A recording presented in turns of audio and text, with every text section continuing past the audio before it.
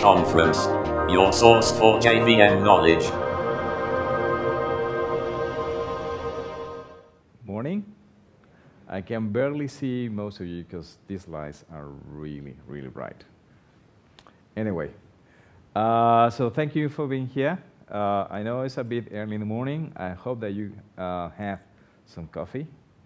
And um, hopefully today I'll have some news for you about what's going on in Gradle. But before I get started, uh, how many of you are using Gradle 5 already?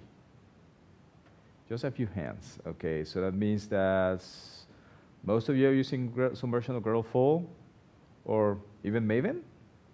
Yeah? It's okay. It's all right. Uh, well, so the point of today is to show what is new in Gradle 5 so that uh, um, my point is to get you excited about these releases. Uh, we just released 5.3.1, uh, I think two days ago. And uh, 5.4 is coming pretty soon. And uh, there are many things that we are excited for. So this is the current agenda I have for today. And uh, yes, I know this is uh, started as a Groovy-based conference, but we have to talk about this guy, the Kotlin DSL, because there has been a lot of improvements happening in the Kotlin DSL arena. Now, who has already tried out the Kotlin DSL? in version 4, 5, and it kind of works, right? Well, let me tell you that in version 5, things work much, much better now. Uh, so, yeah, little elephant. And, uh, oh, I almost forgot. Uh, so you see, this is the, uh, the grumpy elephant, but we have a new logo, and I forgot to bring the new t-shirt. This is still the old t-shirt. And uh, we have some stickers with a new elephant. So, uh, but when we finish the session, first come, first serve. Only a few ones. All right. So we got a new logo, but the thing is that the Kotlin DSL benefits, the idea behind uh, offering the Kotlin DSL is that uh, Kotlin is a statically compiled language. So given this, the IDE should give you better tool support. Now this is true if you use a certain series of IDs, and we'll get that into a moment. Uh, so you get auto-completion and content assist and refactoring, everything that you have come to learn from static compiled languages. Um, the quick documentation is also true because you have access to the, um, well, Java doc or Kotlin doc to any of the uh, classes and properties and methods that you're used to. So again, the, the IDE should give you everything that you want. Now, in 5.0, uh, we released uh, Kotlin DSL 1.0, uh, so it's, it's ready for consumption. And in version, I think is 5.2 was also released early this year. We have now the Kotlin DSL 1.1. And in just recently in 5.3, uh, we released uh, we, or we upgraded the internal Kotlin uh, library to 1.3.21, I believe. It's not the latest one, but uh, we are pretty much up to that. Now, um, the question would be, should you adopt the Kotlin DSL? Well, this is kind of as a laundry list of things, of checks that you have to cover to make sure that you really want to do this. Uh, first, are you already using uh, Gradle 5? If you are, then moving to the Kotlin DSL, it's much, much easier uh, you using the plugins block or the build script block. So you might remember in the old days, uh, like five years ago or so, we used to uh, use the build script plugin uh, block, sorry, to define how you uh, configure plugins that are going to be applied to your script. You can still do it. It's known as the old school way. But since Gradle 2.1, we have a new version, which is the plugins block. And this allows you to define just the IDs and the versions and a couple of properties, perhaps, and simplify things a lot. I really love using the plugins block versus the uh, build script. There are some cases we still have to use the build script block, and so you just have to be aware of. So if you have already migrated to the plugins block, the Kotlin DSLs make it much, much easier because those plugins that are coming from core, you can only you only need to specify the name of, or the ID of the plugin. You don't even have to specify the ID method as you would do in the plugins block in the Groovy DSL. So a tiny bit of, of advantages there, but it makes it a little bit easier. The next thing is, does your IDE support Kotlin? And uh, this is a tricky question because not every single IDE will give you all the benefits that you expect from a statically compiled language, and we'll get to that in just a moment. Are you also familiar with the Kotlin syntax? If you are not, if you are okay with Groovy and then say, oh, let's give it a try to uh, the Kotlin DSL and will expect my, my IDE to give me all the benefits out of the box, you will not get it. You have to know a little bit of Kotlin in order to get started. Otherwise, uh, it's not going to work. Uh, but you can learn. It's, it's not that problematic. And uh, we have a migration strategy that the slides will be available and um, um, online, so you can click on all the links that I'm going to show you. So if you comply with all these checks, then sure, go ahead. Just continue going uh, with the, uh, the Kotlin DSL. So here's a list of at least the, the IDEs and rich text editors that we keep tracking of. If you're using IntelliJ or you're using Android Studio, you're good to go. You have all the benefits. The, uh, the, the semantic editor, which is the one that's going to give you the content assist and refactors, all that, this just works. Or we expect to work. If it doesn't work, file a ticket with JetBrains. For the other IDEs, well, the only thing that you get is syntax highlighting. So the benefits of having a static compiled language for co uh, code completion and whatnot, well, we will spec those IDEs and those uh, text editors to at some point give you some sort of support, but right now it's up in the air. All right. So if you have already tried and you were disappointed, give it another look because it's now it's much better. And uh, we always welcome your feedback. And uh, if you encounter any problems, please let us know. That is the URL for you to, to file a bug. Uh, please do so. This is how we can make things better. And we also have a guide detailing everything that is available about the Kotlin DSL. Here's the URL. And uh, if you have any other questions on that one, just refer to that guide. And if it doesn't solve all your problems, if it doesn't solve all your questions, then also come back to us, give us your feedback, and we can make things better. The next thing is build performance. And uh, with this one, we are definitely much more excited because one of the things that we would like to do in Gradle is make sure that you have better developer productivity so that you are not wasting your time and then you just are concentrated on doing the task at hand instead of battling with the build or battling with the build tools. The build tools should be there to aid you, not to be an obstacle for you. So in the several releases, what Gradle has been doing, the Gradle build tool, is making things faster and faster and faster, and we have added a couple of APIs to make this work. Now, what these graphs are showing you is a typical, uh, well, kind of like a typical Java project that has a thousand modules. Uh, my projects usually don't have more than that, but imagine if you really had a really big uh, project, uh, whether it's a monorepo or not, uh, you know, you probably know that Gradle works in, in a mode that first it configures your project, so it takes some time to figure out what needs to be done, and then comes the execution phase, where it's actually the work being done. So when you have a such big project like this one, configuration can take some time. And we have done is try to reduce the amount of time that it takes for the, the, uh, the build to get initialized and configured. One of the things that we would like to do is to reduce this time to zero. This is the goal. Well, we are not there yet. We will eventually get there. So you see that with Gradle 5, we have reduced around the 20% from the past. And, and uh, well, now that is a configure one. But what we're doing here is the um, um, incremental compilation of Java projects.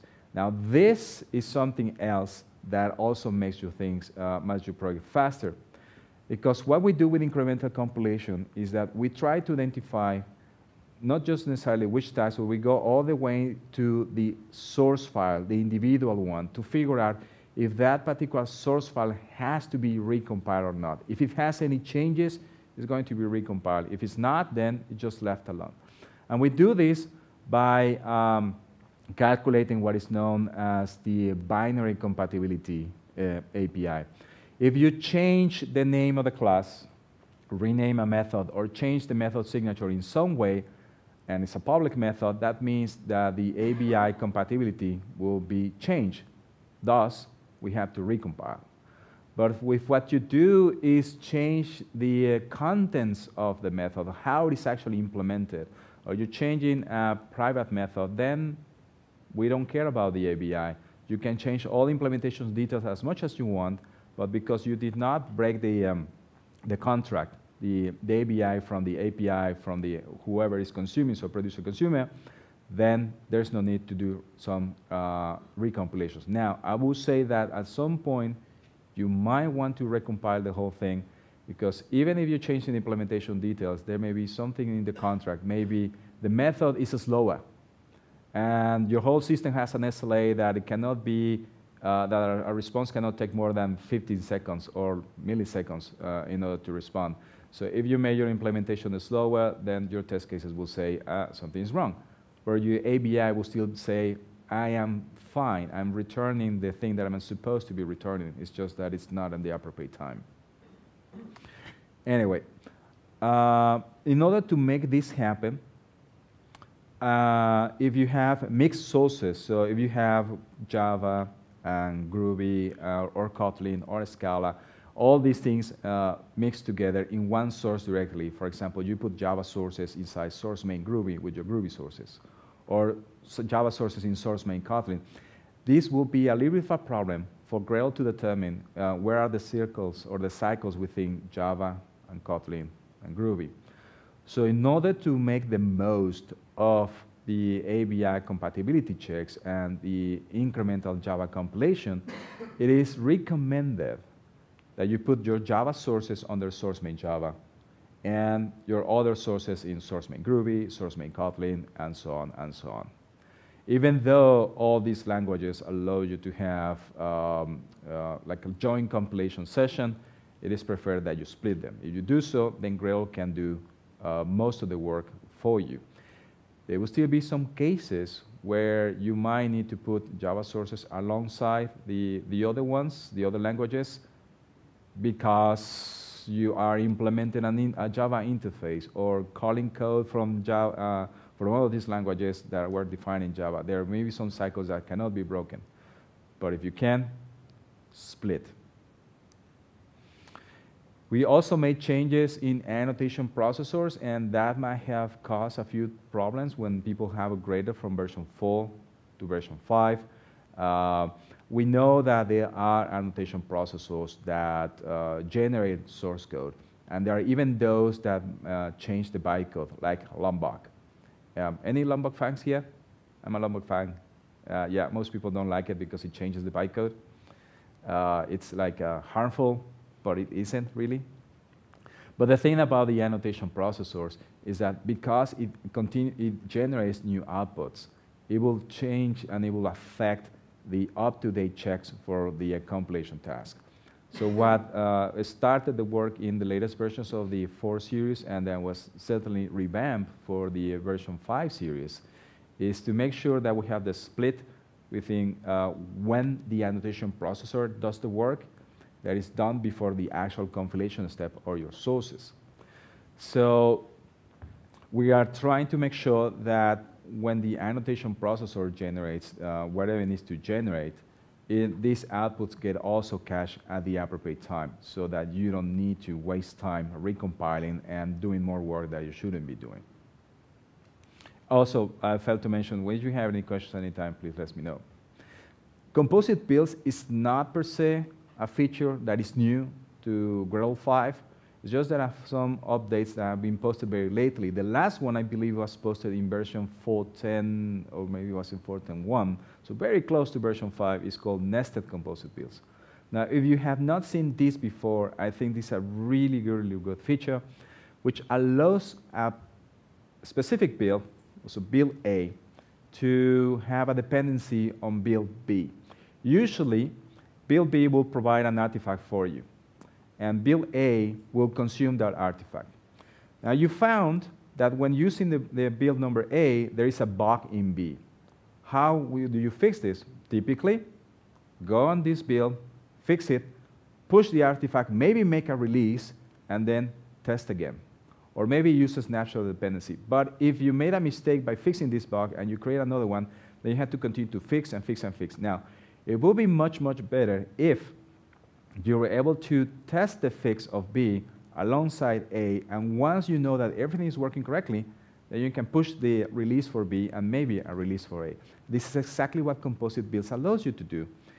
When you establish a link within the two builds and you compile A, it will detect if there are any changes in B, compile this, uh, generate the artifacts that are needed, and then consume it directly. At any point in time, you also can uh, cut the link within the two builds. Now, another thing that this um, feature allows you to do is that the secondary build, so B, could also have another included one, and another one, and another one if you want to. This is known as nested composite builds. This allows you to assemble something that looks like a monorepo based out of multiple repositories. So for those of you that have tested the ideas of monorepo and believe that it's a lot of work to move from separate repositories into a, a single one and we're going to lose uh, the Git history, no worries. Composite builds allow you to keep all these repositories separate, but working in all of them as if we're a big monorepo. Conversely, the other way around is also possible. If you are in an organization that is working in a big monorepo and that turns out for some reason to be a bad idea or is not giving you the benefits that you were expecting, you can break down this monorepo into smaller pieces. But you don't need to break down or, or to start to move the code base completely uh, uh, crazily and, uh, and, changing source files all around the place. What you can do is simply add new build files uh, in all the different places that you need and establish a link for the different uh, or included builds. So in this way, you don't have to git checkout for many places. You can still have everything together, but the, the source files are in one place, but each one of these builds will be completely separate. And uh, you can do cross-repository refactoring. That's the other idea to have the inclusion within uh, build A and build B. I have to say that since they added the feature for nested composite builds, this has become a really good thing to have. If you ever had the need of dealing with snapshot dependencies, I would certainly uh, recommend you to have a look at this one. Next one is the, uh, in terms of the build performance, is accelerating your build by making sure that you don't do the work that doesn't need to be done because you have already computed. So this is pretty much the build cache. The, uh, you, you probably are aware that the early versions of Gradle, uh, when you execute a task, uh, Gradle computes what are the inputs and the outputs, and the next invocation of this particular task, in the inputs did not change, then it will going to give you the same outputs. Uh, so if it captures the output before, then it's just going to use it the task is marked as up to date, skip, and then you continue with the next one. So this makes Gradle faster. But if you do a clean on this current build, then all these results, all these outputs get deleted, and you have to execute the task again. So the first level of, of making sure that you can do things faster is, what if you, there was a way for you to uh, keep track of these results within different builds? And we do this using the local cache. This, uh, it is called the, uh, the build cache, which was added, I believe, as an incubating feature in Gradle 3X. It was mm, revamped in 4 and definitely in 5. We will recommend you to use all the time. And once you get used to running your builds with the build cache, you, and say your builds typically will be, I don't know, like three minutes perhaps, or two minutes. With the build cache, we can have this, and depending in some cases, it can even be less than that. So if you were used to a build of one minute, and with the build cache you get 20 seconds, you will not want to go back to those uh, 60 seconds in the past. You really want to have those 20 seconds. So, and that's great for you as an individual developer.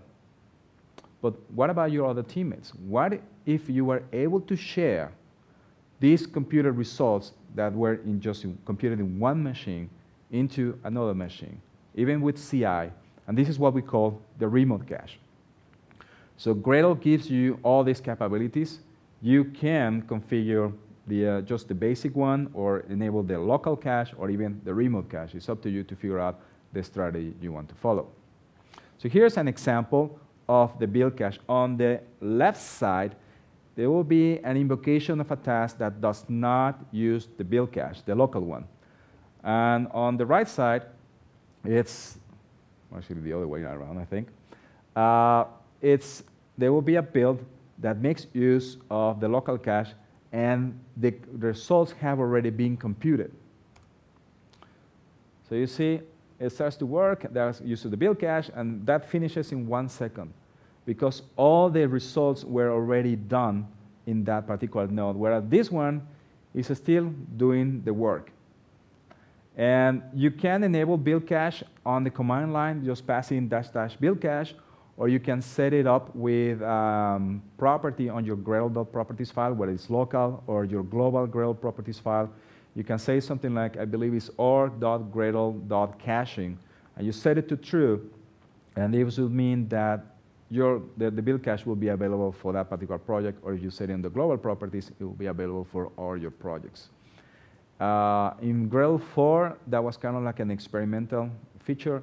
In Gradle 5, I certainly recommend you to set this property to true in your global properties and just reap the benefits of using the local cache.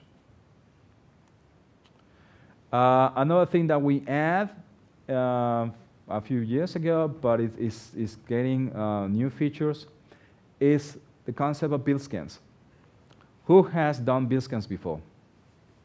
Just a few hands. Okay, great. So let me tell you the benefits about build scans. Are a way for Gradle to capture the build execution data, and then later you can analyze this. So I have here uh, a snapshot of a project that I made with both Maven and Gradle, and I, I wanted to test and where exactly, or find out where in my build the, uh, there were some hotspots or things that I can fix.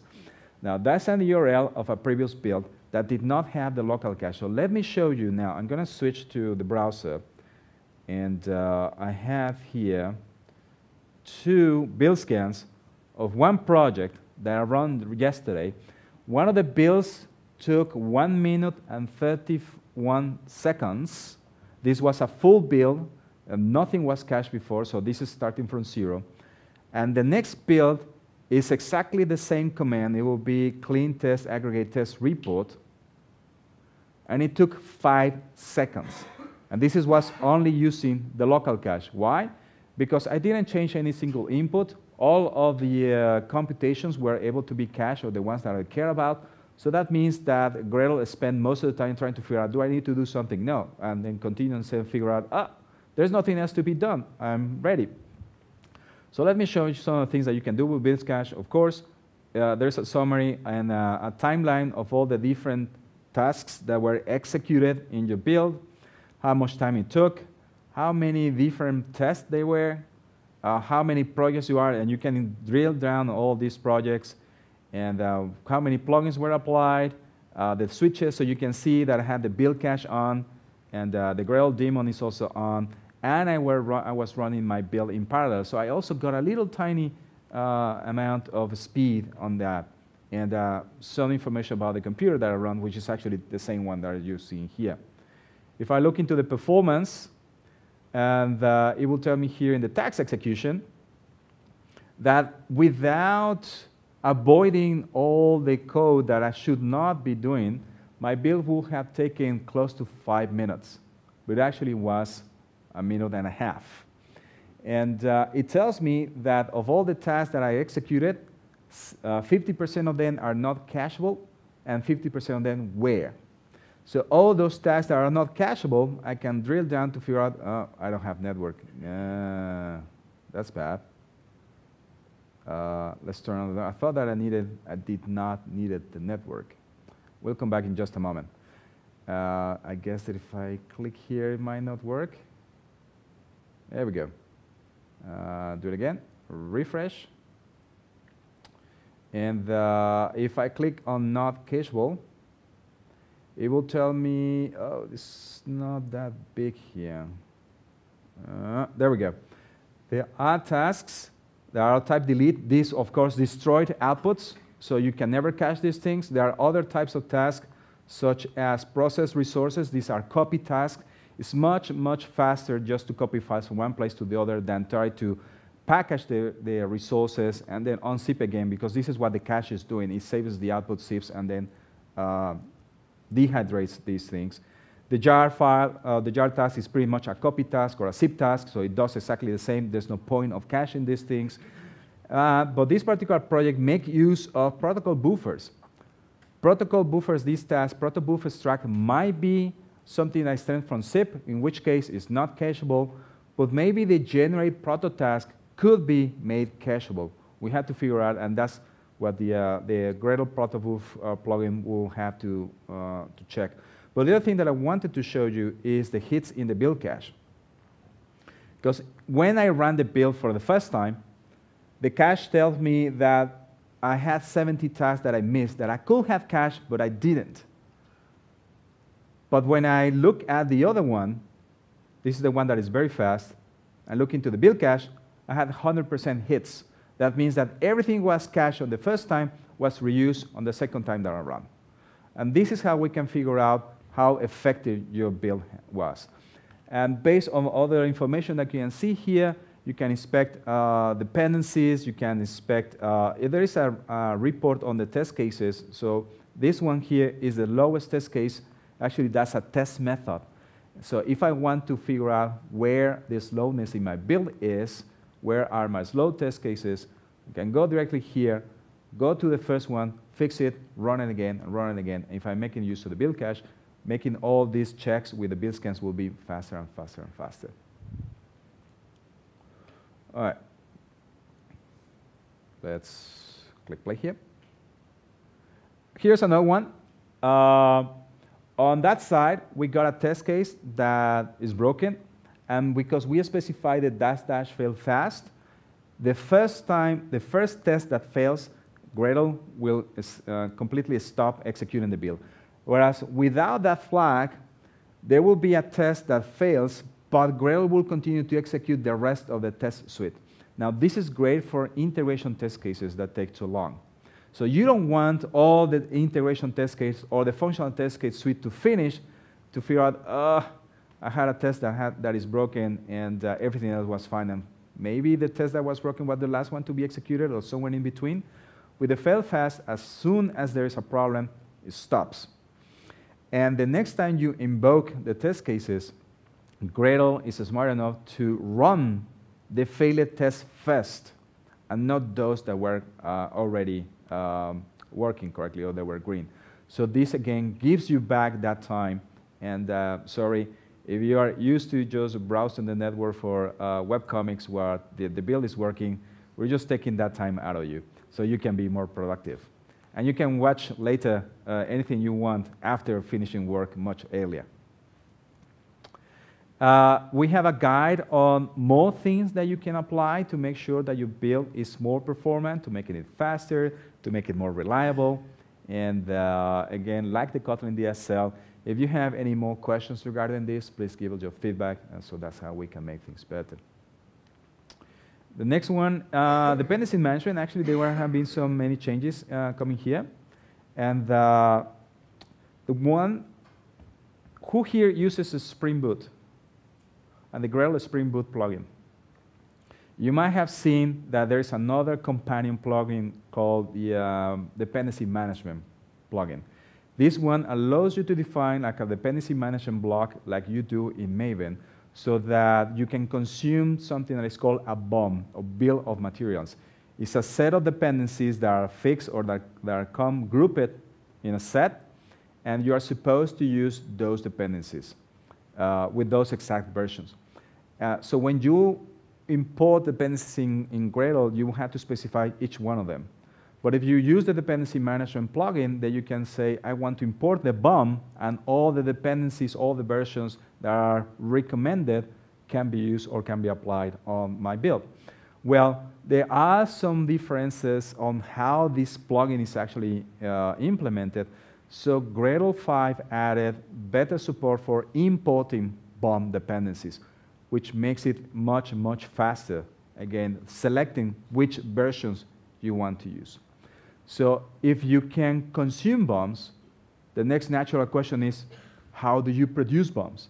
Well, in Gradle 5.2, I believe, we added the, um, the Java platform plugin, which allows you to define a group of dependencies that come together. Now, the platform is more than just a BOM. But the way that we express right now how you can consume the platform is through a Maven BOM. So it will generate a POM file that looks like a BOM, and you just apply it and consume it just exactly the same.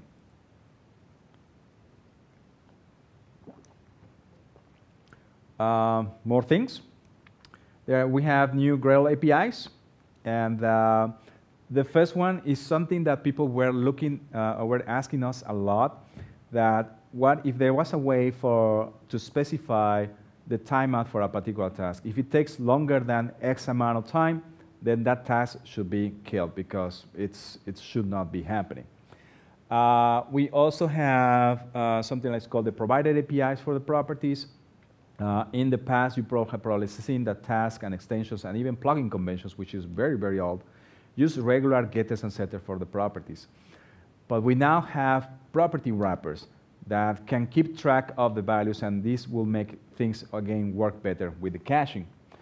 We have something called the configuration avoidance APIs, which uh, I will show you in just a moment, but this basically what we're trying to do is what I was showing with the graphs earlier, try to reduce the configuration time as much as we can. So any work that, that should not be done during configuration time should be avoided, and that's exactly our aim. Um, we, you can also specify custom CLI flags, and this is something, uh, this is something that I really like, and I'll show you an example for that. And the Worker API, for those of you that were in the previous session with Scott, you probably have heard that uh, the Worker API is not really there yet. You want to use it in Anger, but it's something that we're definitely trying to, uh, to make better, and I will show you an example of that. So here we have uh, the first example. Uh, this is um, a plugin written in Kotlin. Uh, what's going on with the uh, animation here? There we go. So this is the timeout.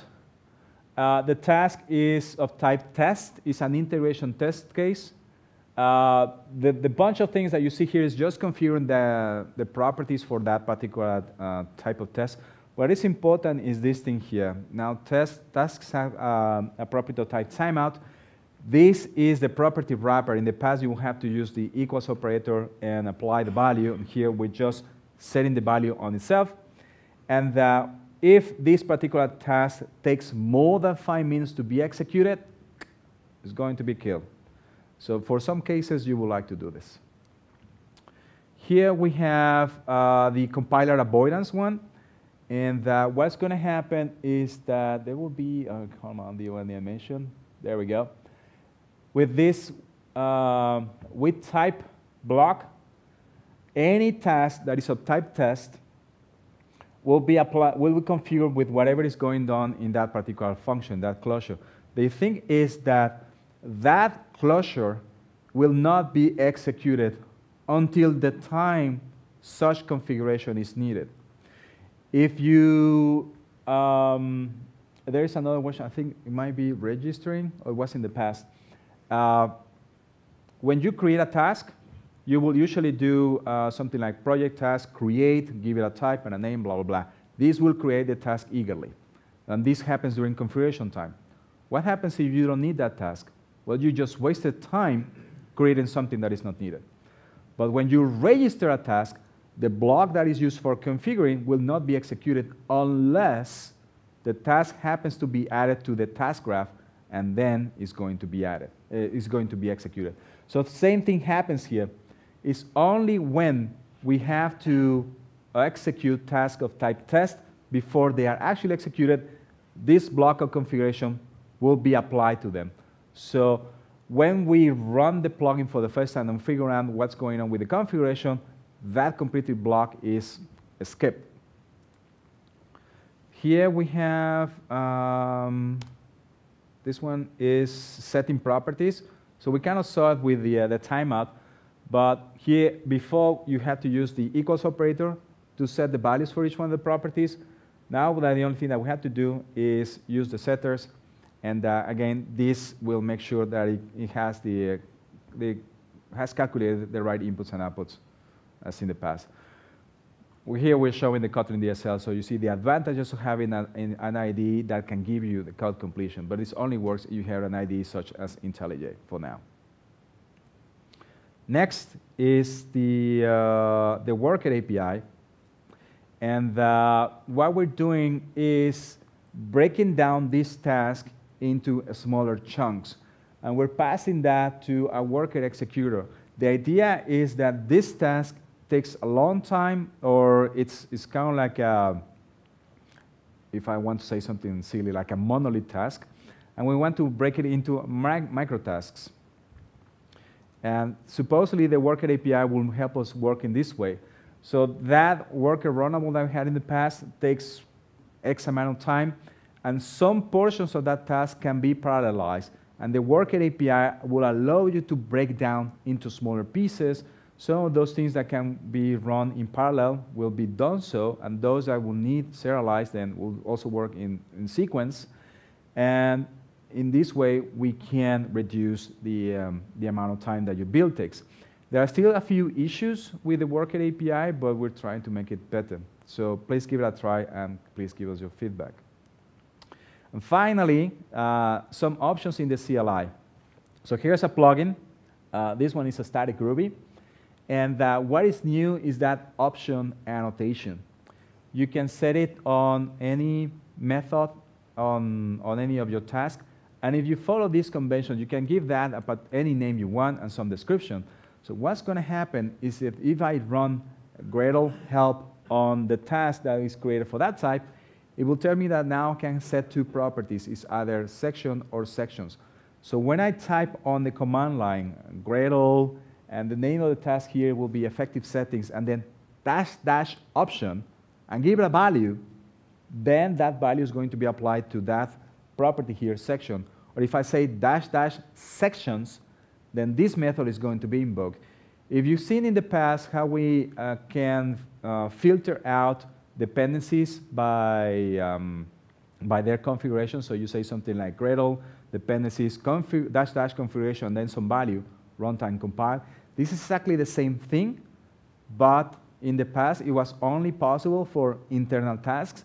Now you can do the same. So for plugin authors, this is something that is really good, let me tell you, because it's, it's something I, I keep using every single day. Another thing that I like is, uh, this was added, I think, in, in version 5.1, is filter out uh, tasks by groups. So here's an example of a project that, uh, uh let's make this uh, bigger, like this. And uh, this is the Sentinel project that I used in the past for the build scans. Uh, no, that's not the directory. That's the one I want. And this is a multi-module project that has lots of projects. And I want to know how many tasks I have for the uh, Sentinel core project. So let's make it big here. And I run task. And this will tell me everything that I can invoke on this project. And uh, it's a bunch of them, but I don't care about those things. I want to know only about the inside group. So what do I do? I can go here and say dash dash group and do something like this. I say inside, execute the build, and now it should tell me only about those tags. So this works if you know what is the name of the group you want to query. All right, next one. Uh, ooh, maybe I should have changed not so fast. Uh, Gradle init has additional uh, bootstrapping project capabilities. And uh, let me show you what we can do. And this one, I think I can do it right here. Let's go there let's create a directory like this. And uh, there have been a, um, a, bunch of people that have created, uh, that have complained and asked, uh, where is the artifact or archetype support in Gradle. We don't have something like that. We have so many archetypes in Maven. How can you bootstrap projects in Gradle? There are some ways, but uh, Gradle init allows you to do so in a very basic one. Uh, so we can call Gradle init here. And now we'll pop something like this. So you have 10 choices. And uh, let's go with the Java application. And now it will ask me what type of DSL you want to use. Uh, you want to go with the Kotlin DSL or you want to go with the Groovy DSL. I'm going to go with Groovy. And now will ask me, well, you should do, be doing testing, right? So which testing framework you want to use? Oh, let's go with Spock. Let's see what happens. And uh, let's use the default names for, for the artifact and the package. And there you're done. So this is what has been generated. Uh, so your build file, the wrapper, the settings.gradle file, a very basic main class, and a very basic test.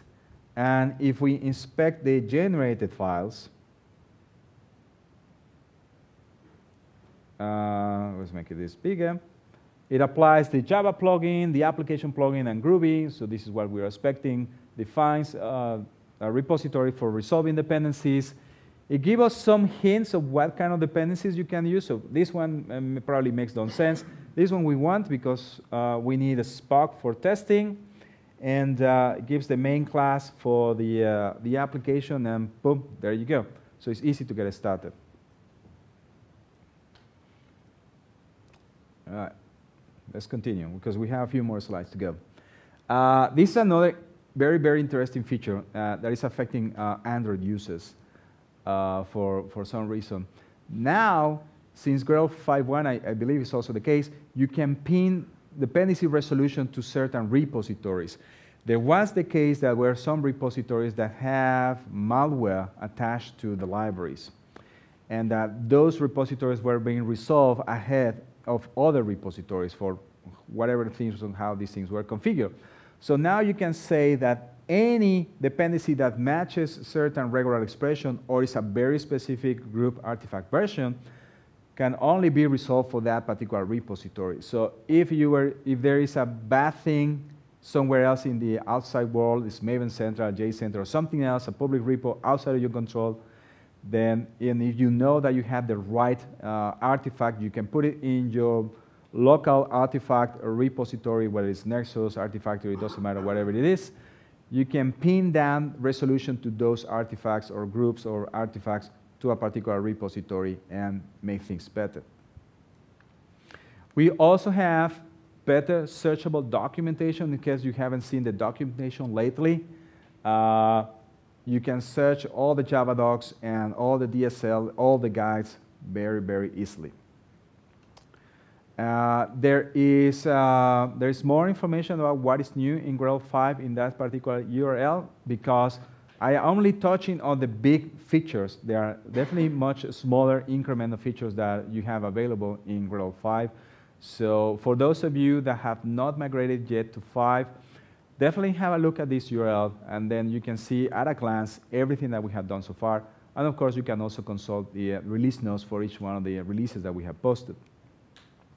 Uh, this is everything that I have for you, and I hope that it has given you um, um, a glance of all the things that we have done so far. We're quite excited of what's going on with Gradle 5. The build cache, it gives us a lot of time savings. The build scans is also is a feature that I cannot stress enough how many benefits it have given us. So if you have not tried them, please do so. So with that, um, I guess thank you very much, and now we're open for questions in case you have them.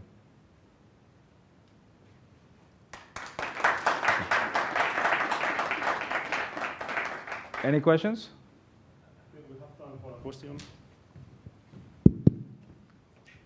Uh, two quickly questions. If I have a plugins uh, in version 4, is difficult to, to migrate to 5?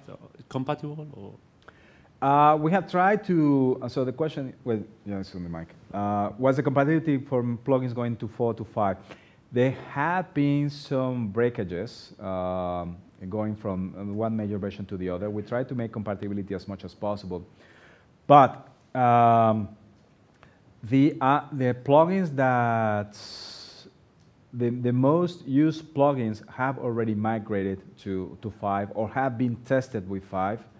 Uh, we have a bunch of plugins uh, for which we internally do so. For example, Shadow, which is amply used in the industry. This is one of the first one that, that feels the problems when there's something going on. If there happens to be a plugin that makes use of internal APIs, you shouldn't be doing that in the first case, but the fact that it's, you can reach to it, then people will use it. Uh, please don't.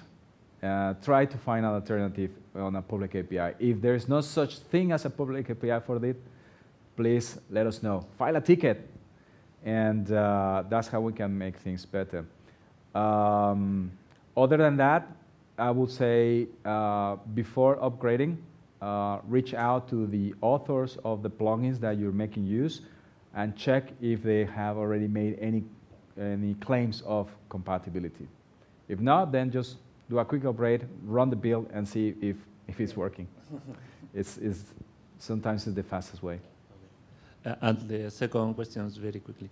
The bootstrapping option, you can make a, a Gradle ini or Gradle ini, uh, the list of the art, uh, I don't know, Groovy library, Groovy application. The templates, uh, yes. The templates. Uh, we can add uh, new templates or only you? Uh, not that I'm aware of. Right now, this is only coming from, from the Gradle in, init uh, plugin is internal.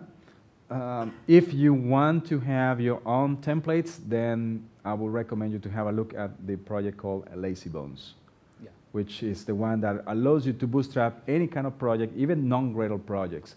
Now, personally, I like Lazybones a lot because it gives me more, uh, more room to work. I can create my own templates. I can have something called sub-templates uh, or generate sub-templates. And, uh, but the disadvantage is that you have to install another program, Lazybones.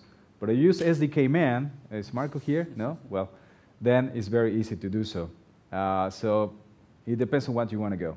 Go with the defaults. Uh, it's already there because Gradle it's, uh, provides the init, or you go with the secondary uh, application, which means you have to learn a few more things, but once you do, you get all the benefits. Okay. Thank you. Sorry, there's no time for more questions. So thank you, Andres. Thank you. Don't forget.